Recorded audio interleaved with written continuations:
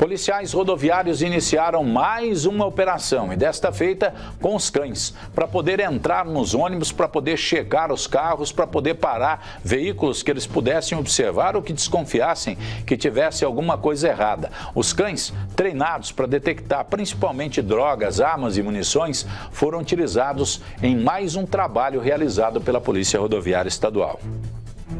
Nós somos da Polícia Militar do Estado do Paraná, nós trabalhamos na equipe de operações com cães. Nós vamos utilizar um cão é, de detecção de drogas e armas nesse ônibus. Ele vai fazer a fiscalização pra gente. Eu peço só que fiquem sentados no banco. Ele não mordem, pode ficar tranquilo, tá? Ele é um cão pacífico. E ele vai fazer o trabalho de fiscalização que vai ser muito rápido. Muito obrigado.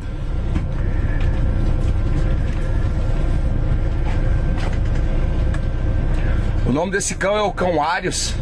Ele está sendo conduzido pelo soldado Graciano. Vocês podem ficar tranquilos que ele não morde, tá? Ele, ele otimiza a busca, vai ser muito rápido, né? Logo, logo a gente vai estar liberando vocês para viagem.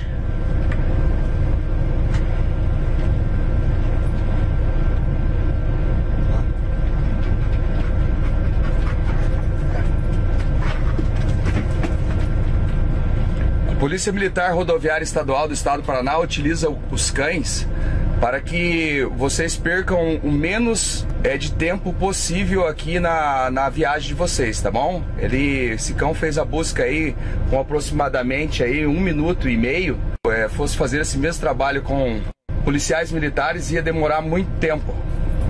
Muito obrigado a todos, boa viagem. O resultado do trampo da Polícia Rodoviária com os cães, dentro dos ônibus, checando, verificando os passageiros.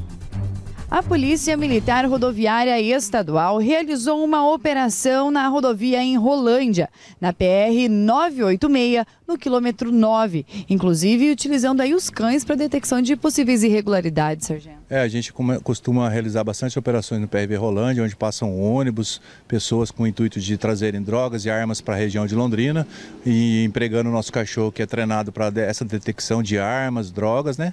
Hoje logramos êxito aí em encontrar nessa Kombi aí Vapers, né? Que tem o comércio proibido na nossa área aqui e foi encaminhado para a Polícia Federal para o desembaraçamento é uma rota comum para ir traficantes acabam utilizando. É, a gente utiliza sempre no período noturno e hoje, né, para tentar encontrar eles passando em outros horários, a gente empregou no período da manhã e logramos isso nessa Kombi aí que estava traficando aí, trazendo para Londrina esse, essa quantidade de vapers, né? Esse trabalho é sempre feito ali na região. A gente procura empregar em vários horários aí, né? E hoje foi no período da manhã e logramos isso, né? Não conseguimos armas e drogas, mas tiramos de circulação os vapers que estragam aí as crianças, adolescentes aí na nossa área, né? Os cães são treinados para encontrar esses outros materiais também, Sargento? É, o nosso cão é bem treinado, ele localiza arma, drogas e localizou os vapers também.